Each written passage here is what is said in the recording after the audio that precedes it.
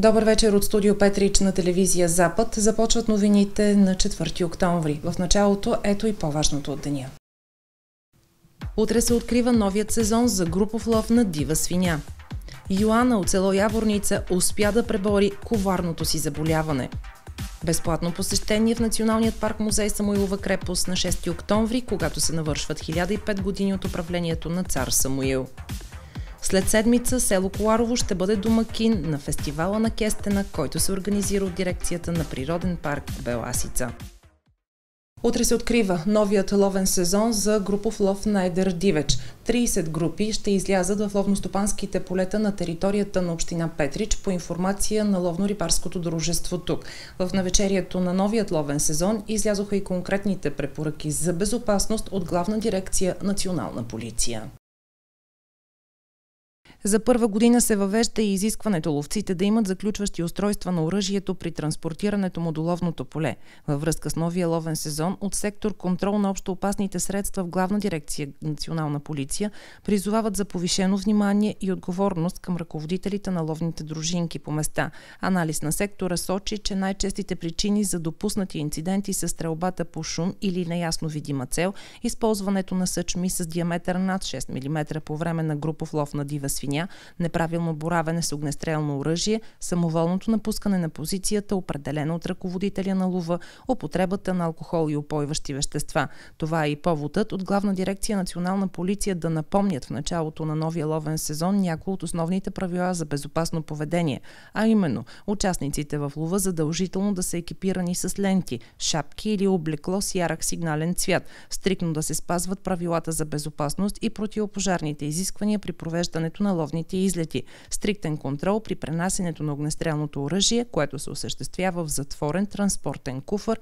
или в кълъв с поставено заключващо устройство на спусъка и без патрон в патронника.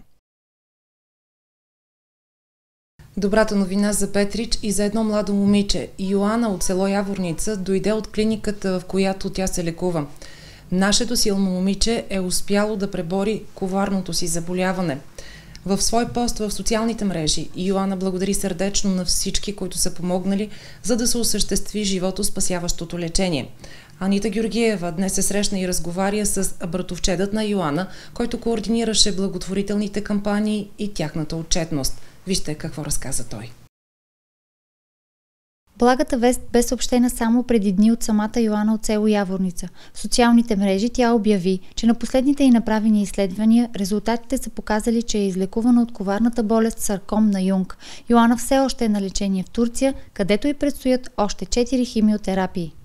Йоанна добре в момента е в Турция и преминава през 14-та химиотерапия. Доста сериозна бройка, но тя се справя добре. Доказа, че е силно момиче и изглежда добре, но пук на това сериозно натоварване, което тялото е подложено.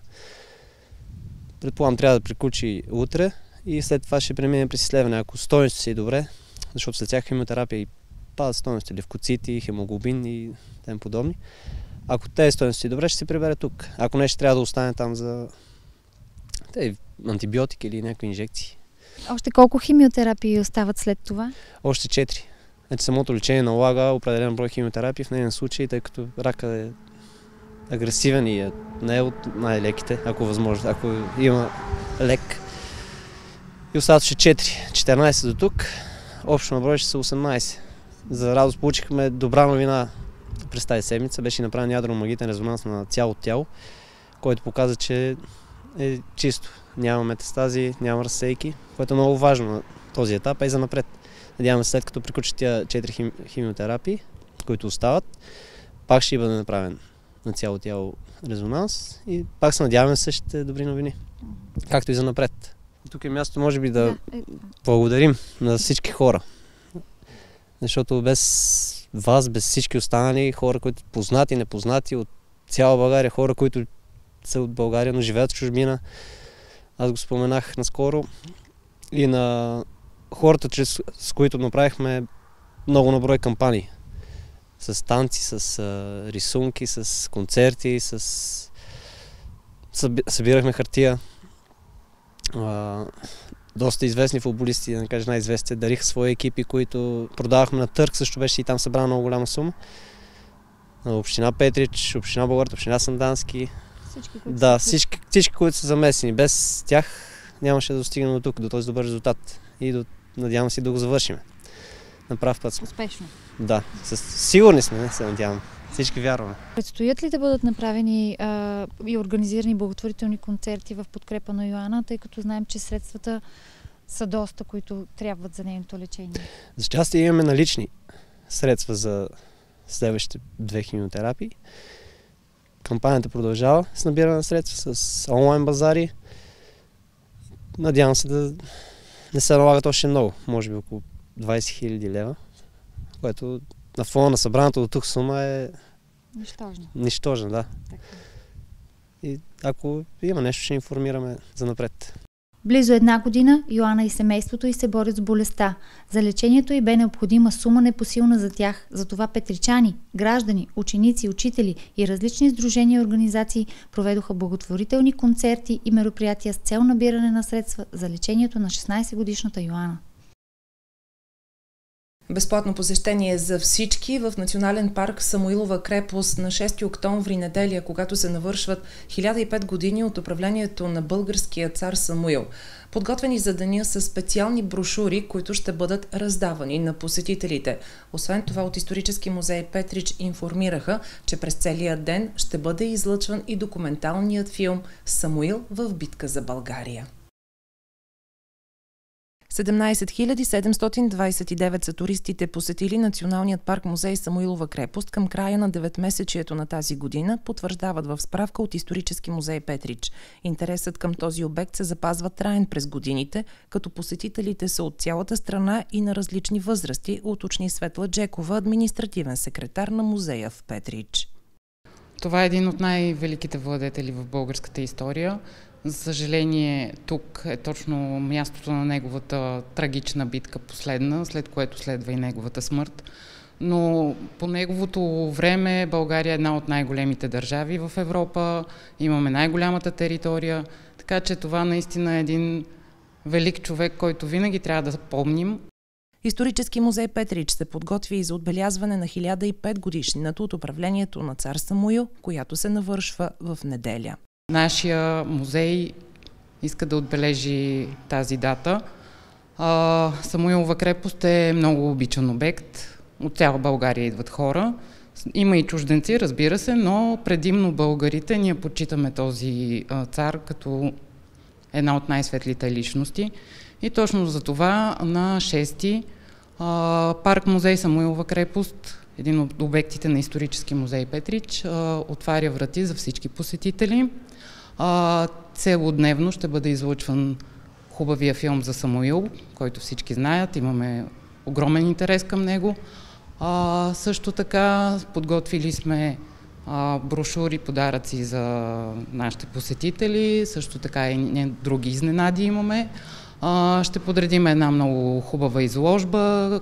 Всеки, който иска, може да дойде подробно да се запознае с управлението на Самуил. Там всичко е описано. Така че заповядайте. Вход свободен. На място в Националният парк музей Самуилова крепост преди месец беше представена отново и постърната изложба за цар Самуил, която гостува и в много от училищата на територията на общината. Само след седмица село Коларово отново ще бъде домакин на фестивала на Кестена. В подножието на прекрасна Беласица гостите на фестивала отново ще могат да се насладят на най-доброто от уникалната природа на планината и да се запознаят с традициите на хората, които живеят в подножието на планина Беласица. Фестивалът на Кестена се организира по традиция от дирекцията на Природен парк Беласица. В програмата на фестивала на Кесте на всяко от 8-те села, разположени в полите на панорамна Беласица, се представя със своя уникална шатра, в която са подредени вкусни ястия, предмети и други продукти, характерни за района. Самите шатри са кокетно аранжирани, а навсякъде уха е на кестени. Колоритът на този фестивал са и самодейните колективи от подгорските села, които остават здравата ни връзка с българското съпътстващи събития ще има по време на фестивала. От 12 часа е Нарисувай Беласица, предизвикателство за малки и големи художници, което ще е през цялото време на фестивалната програма на шатрата на Българска фундация Биоразнообразие от 1 до 2 часа в сградата на дирекция на Природен парк Беласица ще има а, представяне на филм за природното и културно наследство на Природен парк Беласица. Също така на следващия ден предлагаме преход до камешнишките водопади с планински водач. Всички деца, които обичат да творят, ще имат отново свое място на фестивала на Кестена и ще се изправят пред предизвикателството на Рисува и Беласица. Фестивала на Кестена се организира от дирекцията на Природен парк Беласица към изпълнителна агенция по горите с финансовата подкрепа на Югозападно държавно предприятие и Община Петрич в партньорство с Българска фундация Биоразнообразие и Пирински туристически форум, както и с активното участие на кметовете и читалищните секретари на подгорските села, професионалната гимназия по економика и туризъм професор доктор Асен Златаров и средно училище Васил Левски. Тази вечер в Петрич се открива Международният музикален фестивал за нова популярна песен Златен кестен 2019. Сцената в нашия град посреща изпълнители от четири държави. Техните изяви ще бъдат оценявани от тричленно жури с председател Петко Петков. Международният музикален фестивал за нова популярна песен Златен кестен обещава отново музикални емоции, уникални гласове, хитови изпълнители и специалното участие на балет Нова. Форматът в община Петрич ще представи и тази година изпълнители от страната и чужбина в конкурса за нова песен. В първата вечер на фестивала, която се открива днес от 20 часа, гостуващ изпълнител ще бъде Борис Олтарийски. Във втората фестивална вечер, утре 5 октомври, от 20 часа ще бъде и официалната церемония за награждаване на класираните изпълнители. За доброто настроение на публиката ще се грижат също и гостуващите изпълнители Дара и Папи Ханс. Музиката, която зарежда и цялата емоция, обединена в звездните нощи на Златен Кестен 2019. Организатори на фестивала са Община Петрич и Народно читалище Братя Миладинови. Творчески есени предизвикателства за малки и големи в община Сандански. За развитие на този потенциал у подрастващите община Сандански организира есенна работилница на тема Занимания по интереси, есенни интересни занимания за малки и големи в Сандански. Работилницата ще се проведе на 11 октомври петък на площад България, където малки и големи ще пеят и творят. Във всяко училище на територията на община Сандански има сформирани групи за занимания по интереси. Предлаганите извънкласни дейности по интереси подкрепят развитието на ключовите компетентности на учениците в областта на математиката, информатиката, природните науки и технологиите, подпомагат професионалното ориентиране. Дирекция образование, култура, спорт и социално дело ще даде възможност на учениците от училищата училищата да покажат представителни изяви на заниманията си по интереси, организирани в различните клубове. Ще можем да се докоснем до технологията на стъклописа, живописа, работата с хартия, фотографията и други.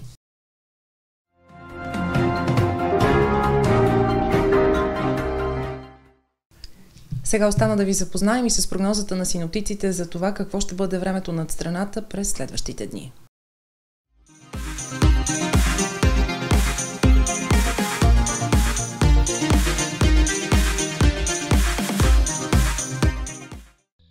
В събота времето над страната ще бъде хладно и облачно. Условия за краткотрайни превалявания ще има на места в Рио-Родопската област и по Черноморието.